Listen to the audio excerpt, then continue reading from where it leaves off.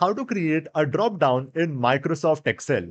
A lot of times we might want to create a drop-down for our different different cells in different worksheets or workbooks so that we can give an option to the users of that Excel workbook to select between a list of options as the value for a specific cell. Let's see how we can create a drop-down for the same in Microsoft Excel.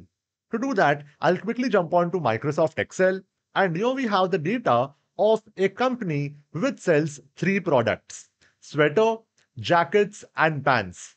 It sells it in three different sizes, small, medium and large and the prices for each combination has been mentioned in this two-way table.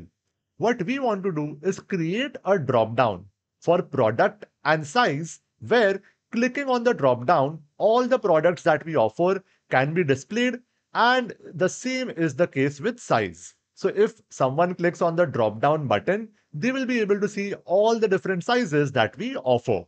How do I create the drop-down? Well, it's actually quite simple. All you have to do is go to the cell in which you want to create that drop-down. Then you will have to go to the Data tab in Microsoft Excel. Once you go to the Data tab, within the Data Tools section, you will be having something called as Data Validation.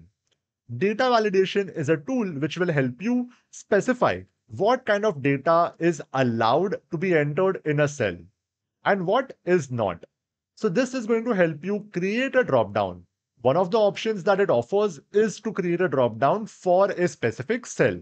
So let's go ahead, click on data validation and open up the data validation dialog box. In this data validation dialog box, you can specify what can be entered in this cell and what cannot be entered in that cell you have a list of different different things that you can select from. For example, you can specify that only whole numbers can be entered in this cell. Only decimal values can be entered. A list of different different things can be entered, which is what we are going to use. Only dates can be entered, only time can be entered, and so on. The one that we are looking for in order to create a drop down is this option of list. You see, whenever you are creating a drop down, you need to understand that drop down is nothing but a list of options, a list of different different values that are allowed to be entered in that cell. Anything that is not a part of the drop down, not a part of that list will not be allowed. So that's the reason why we will be selecting list as the option under allow. Once you select it, the only thing that you need to mention is the source that is, what all different options do you want to be having inside this drop down? Well, the first cell is going to be containing all the different products that we are having in this store. So how do I specify that? Well, there are multiple ways of doing this. One way would be the manual way of entering each and everything, each and every product separated by a comma in between. So you can enter sweat, sweater, comma, jacket, comma, pants, etc. Or because you already have all these names in these three different cells, all you have to do is refer to these three cells and your drop down will be based on it. Another advantage of this method is that whenever you change a product in these three cells, your drop down will dynamically update itself to have that instead of the old product. So let's go ahead and apply this logic here. I'll go to source and simply select these three cells from sweater to pant. So as you can see, I have the reference from B3, that is this cell, to B5, that is this cell.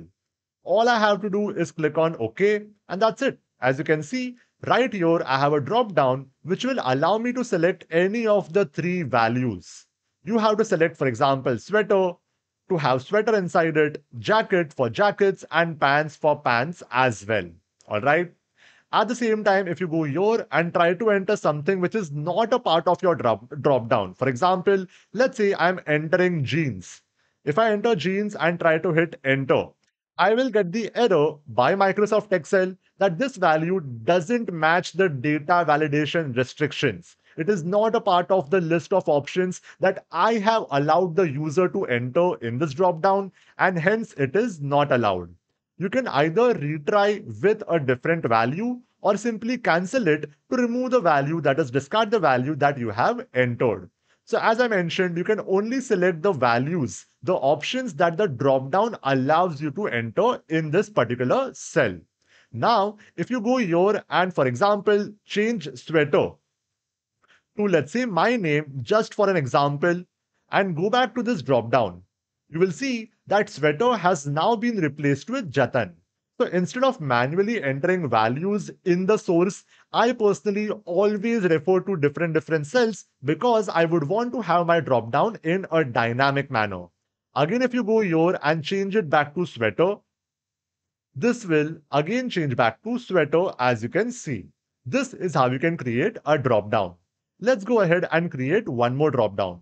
I'll go here, again go to data tab, data validation, in case you do not have the text data validation written anywhere, all you have to do is find this logo. This logo might be a little bit different depending on your Excel version. It keeps on updating. However, more or less, it will remain the same and you will be easily able to find data validation function. Click on it. Again, you have to go here, select the option of list.